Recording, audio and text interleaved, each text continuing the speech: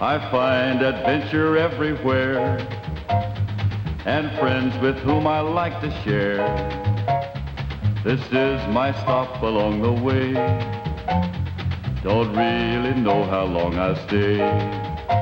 Stop over, might make a new friend. Stop over along the road without end.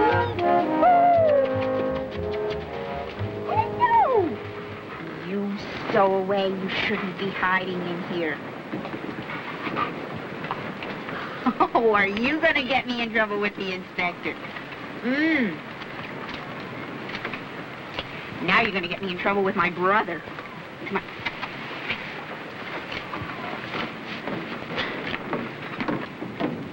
Yvette, Yes. we'll be docking in a minute. Would you mind keeping that inspector off my back?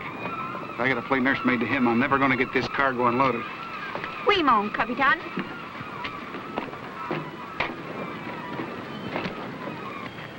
You think I got everything, Sean? Listen, if you left as much as a matchbook, it'll be waiting for you next season. Well, Jock. Hi, Sean. Uh, I didn't expect to see you out of your hole till next Groundhog Day. I wouldn't want to miss a boat. Yeah, or Yvette. Well, uh, like I always say, there's no accounting for a woman's mind. Is the night. Uh, miserable cold. Colds are like the weather. People talk about them and no one does anything.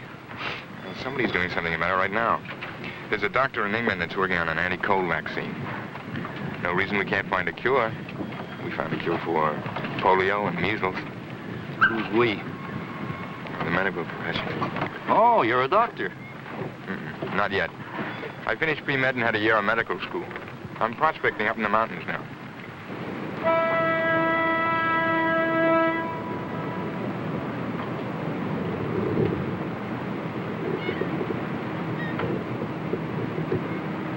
So I'm hoping this mining will be my ticket back to school this fall. I sure wish you luck.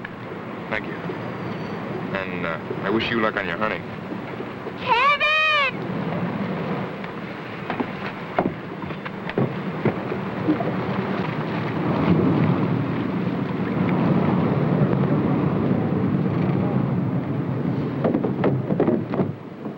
See, you got an earful of Doc Corbin. Yeah, nice young man. You gotta hand it to him. It isn't easy to work your way through medical school. Sure. I got a little secret for you. He ain't never going back to medical school. He's been going back every fall since he first landed here. And you know how long ago that was? Six years ago. Six years? That's right. Trouble with him is he's got bad head dreams. Works up in the mountains there at an old deserted mine, digging for his pot of gold. he don't know one day from the next. I missed you. Two weeks is a long time. Kevin, I've been gone closer to five. You have? That long? I've been so busy working the mine and studying time slip by. How's the mine shaping up? Real great. I think in another 15 or 20 feet I'll hit it. Oh, I hope so. I'll be ashore as soon as I clear with the inspector. Oh, Kevin, I have your new medical books in my cabin. Thanks. I really need them to get ready for the fall session. I'm busting with pride over my moose head, Sean. I can't wait till I get stuffed and mounted. I've got a head I can't wait to stuff and mount. Well, all right, Mr. Adams. You just tell your friends that you've got the best guide up here, Sean Meacham. Fine, sir. Let's get you aboard now before the boat starts unloading. You take that.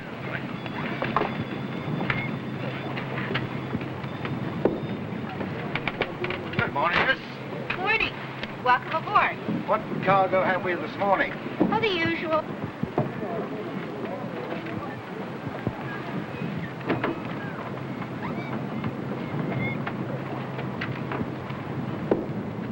Have we here? A stowaway? A, a stray dog?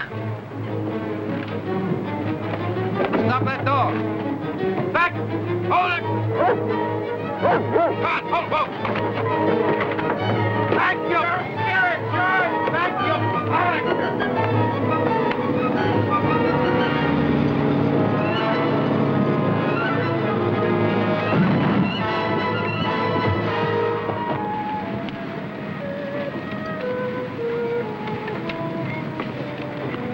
Well, looks like he's had it, huh? It wasn't my fault. He ran right into me head on. Forget it. Forget it. Here, give me a hand. We'll haul him off the docks here. Leave the dog alone, Sean. Oh, come on now. Stop playing at being a doctor. Come on, get out of the way. I said leave the dog Look, alone. Cody, I take him. Is he hurt? He's okay. He's still breathing. He was just knocked unconscious. Easy. It's okay. Come on. Come on, up you go. Up. There you go. I'll be responsible for him. I'll pick the books up later. Of course, Kevin. Just a minute, Doc. Uh, now that you've got a patient to practice on, there's no need to pretend that you're going back to medical school. Uh, I'll tell you what. If this dog pulls through, I'll see that you get lots of patients. Uh, starting with this one.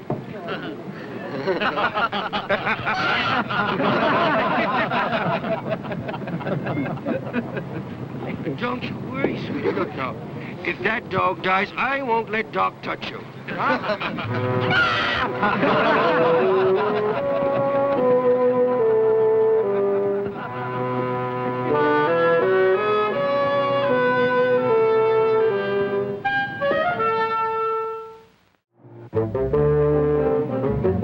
boy.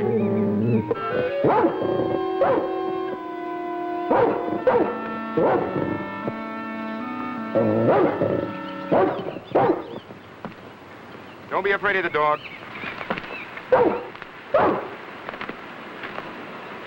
His barking's the best sound we've heard for hours. Looking for Sean Meacham's cabin, you know? Sure. Sean lives right up the way there. I have a pot of coffee on the stove. You care for some? Sounds good. Come on in. Oh, my name is Kevin Corbin. Jim Parker. Glad to know you. Harold Dahl? Glad to know you. Come on.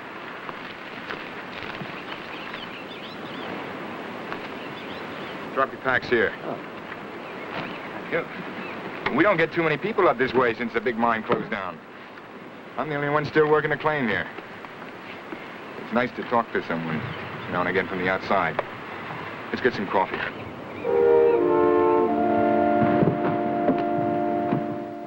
Come on in. Make yourselves at home.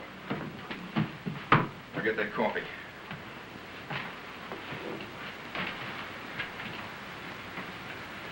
Parker, this is a great photo of an aquila chrysaetos. How'd you know that? Are you an ornithologist? No, just a hobby. I'm a professor of economics at Stanford. My companion is a sorry PhD from there, too. Professor of Greek. Amazing. I used to know the Odyssey by heart. I'm studying medicine now.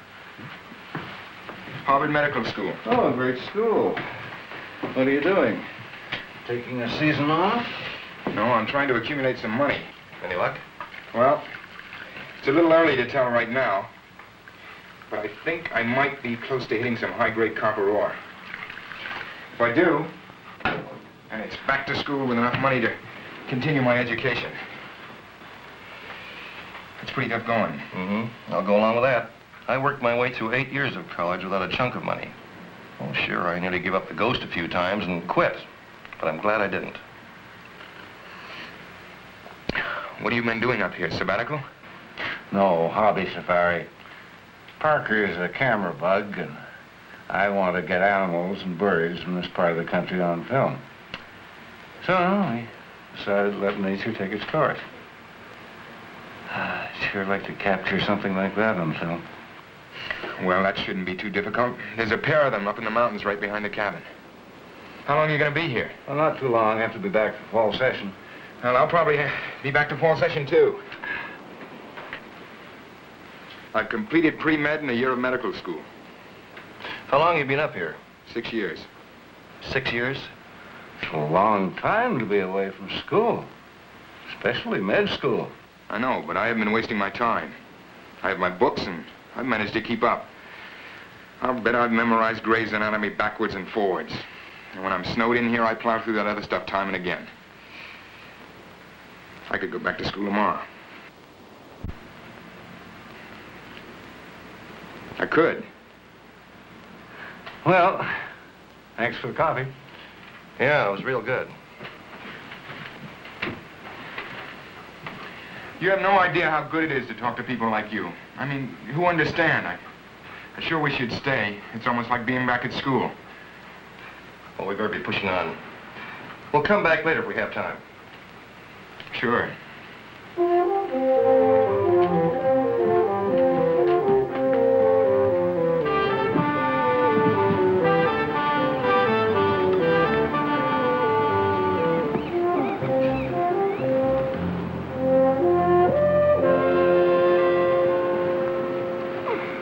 Up the way about, oh, about 100 feet, there's a game trail.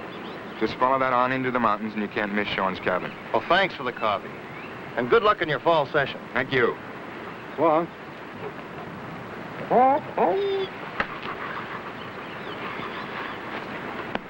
Well, fella, looks like you're the only one that believes I've got a chance. Come on, let's go to work.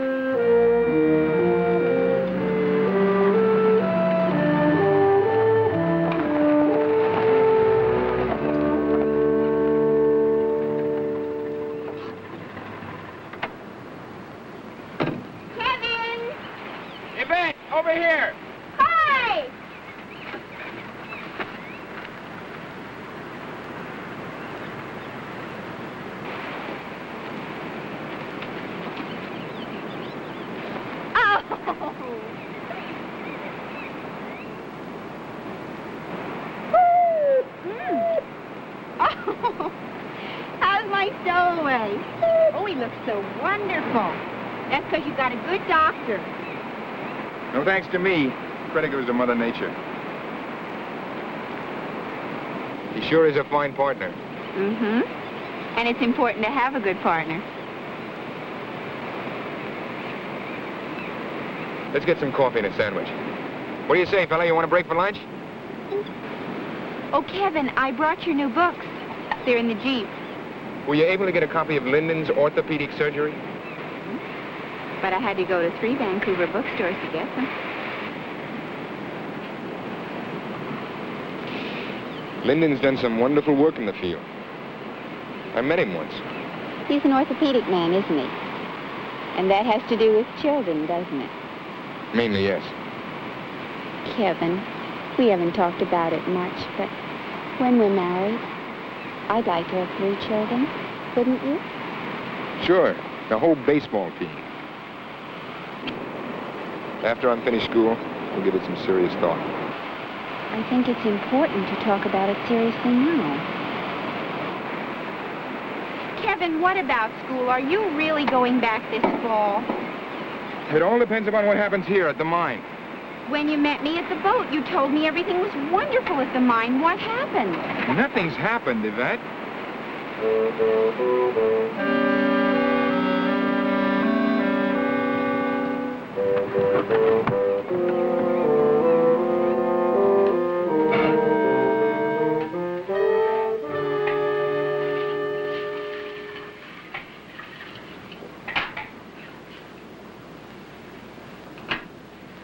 I suppose you heard the ordered an essay out too well.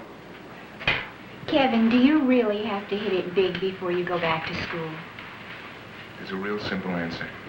I have to have enough money to go back to school. Is that the only reason? Honey, you're talking like a district attorney. What do you want to know? Just ask me. I'll tell you. Why are you the only one who stayed here when everybody else left? You know there's nothing here. There is enough ore here to pay for my education. Why don't you go back to school and work your way through? A lot of people do it. Because I tried it, and it didn't work. My last year in school, I had a night job. I managed to get a few hours sleep before classes. After that, I had to work on my next day's assignment. Yvette, I'm a slow study. If it takes someone an hour to do something, it takes me two. So I found myself studying up until the time I had to go to work. This went on for months. All it got me was bad grades. I didn't flunk anything, but I sure managed to wind up top man on the probation list.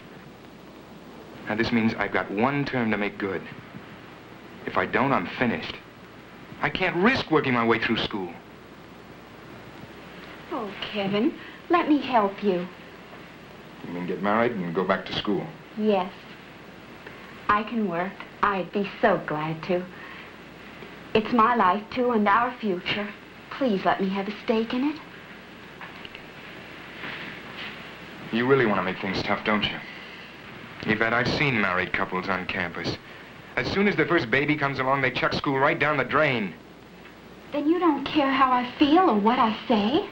No, not when it comes to going back to school. I have to do it my own way. And your way is to hide here in the mountain and hope for a strike. Maybe a big wind's gonna come, Kevin, and blow you back to school. But it's not going to happen that way. The chances are a hundred to one against you. Maybe the people in town are right. You'll never go back to school. Oh, I don't care what the people in town think. Take a good look at yourself, Kevin Corbin. It's later than you think. Are you through? You bet I'm through. I'm through playing second fiddle to all these books and that hole in the mountain.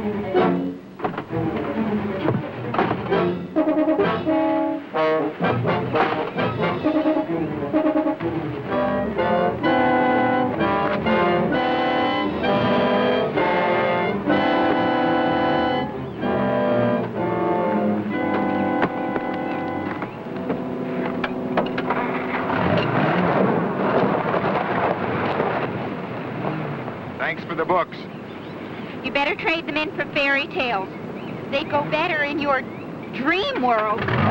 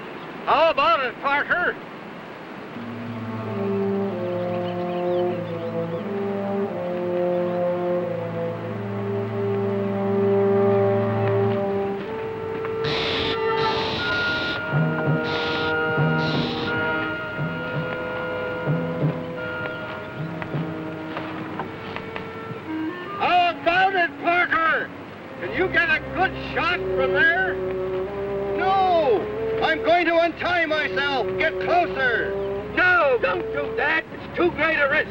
You heard what Parker said. He can't shoot anything from there. I'm going to move over and get a better angle.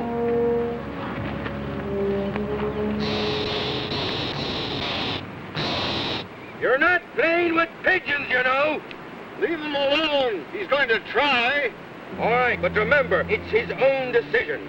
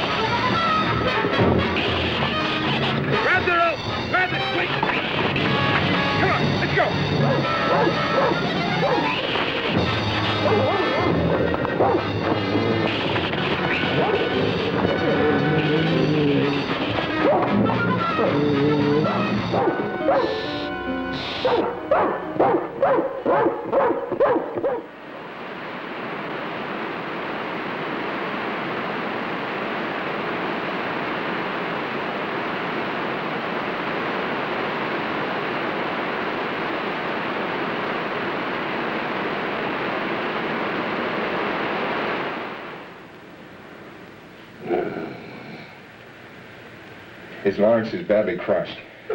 Where's the nearest doctor? Kitimat, I guess. It's about 40 miles across the mountain. It takes, oh, good three hours by jeep. We better get started. If you do, you'll be driving a dead man. By the time you get there, his throat will be swollen shut. Drop these in the boiling water. What are you going to do? I'm going to open up his throat so he can breathe. You what? Sean, his throat is swelling up. It's pressing against his windpipe. I have to open it up. I'm going to put that tube into his trachea. Are you going to let him do that to your friend? Heard what he said. Parker will die if he doesn't. Well, he's sure to die if you let Corbin cut on him. Better take him to the doctor. Now you're talking. Now you listen here to me, Buster. Look, it's all right for you to fool around with dogs, but when it comes to human beings, I... Watch him, fellow.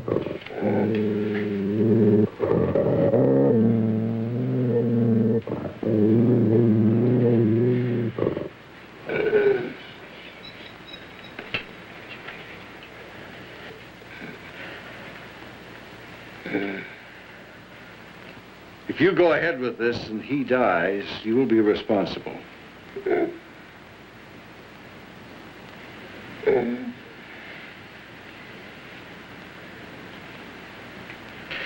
now when I tell you, I want you to keep the incision clear, okay?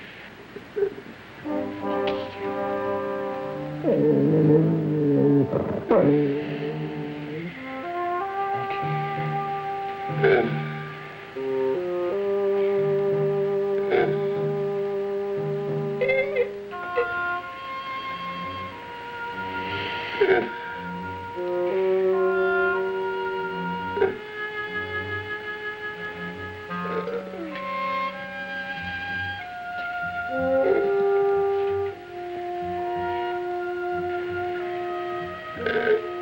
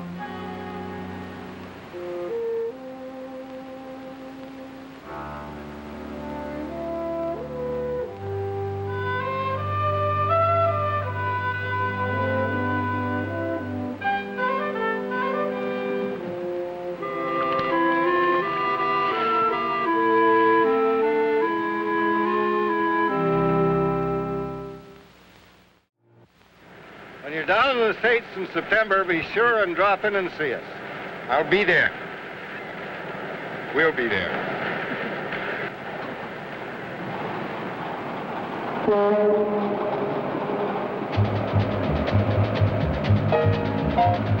traveling around from town to town. Sometimes I think I'll settle down, but I know I'd hunger to be free. Roving's the only life for me. Adrifting, the world is my friend. I'm traveling along the road without end.